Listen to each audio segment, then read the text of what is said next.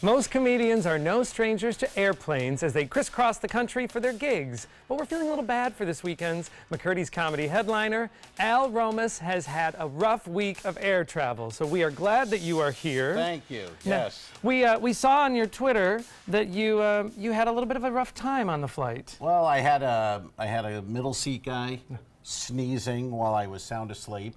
Woke me up with not spray? It wasn't exactly unicorn. Uh, a little, uh, a little more disgusting. So I love that you, in caps, you made him the middle seat guy. So that's, that's Right, that's yeah, very funny. yeah, that's what he goes by, middle seat guy. So you and the girl in front took the brunt of We it. We did. We did. I don't know. I'm hoping she's okay. Um, and then we landed, and it was an international flight, so I had to recheck my bag. Right. And of course, we landed, quote unquote, early, but um, the bag came out almost an hour later. Oh. So yeah. So it's just that's how it is. That's why when someone actually makes it and they, they have some money.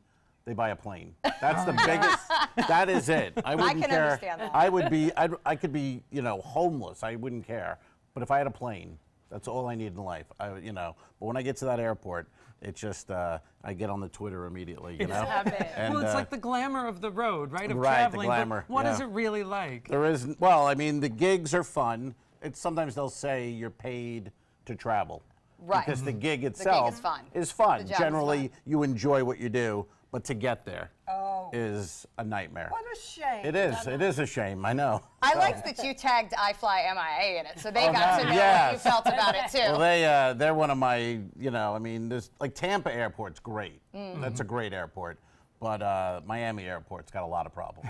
we a lot should of try problems. SRQ, getting it out of Sarasota. Oh it's really? a breeze. I've never it done it. is. I've You need never to used do it. Sarasota. I left my purse at Oh. the desk and they came, Linda, Linda, your purse is here. Really? Does this give you material for your act? It does somewhat, but um, I, I just think you know, I, um, flying has been has been done comedically.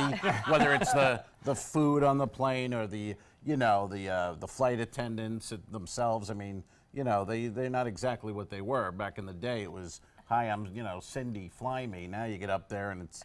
You know, can I get you something? And you go, yeah, about a blindfold? You know what I mean? Like, but uh, they're, they're you know, Look out for that next plane. yeah. Yeah, really. what can we expect in your show this weekend? Um, I talk about my marriage. All right. Uh, I don't have children, so I talk about my. Uh, I have two dogs.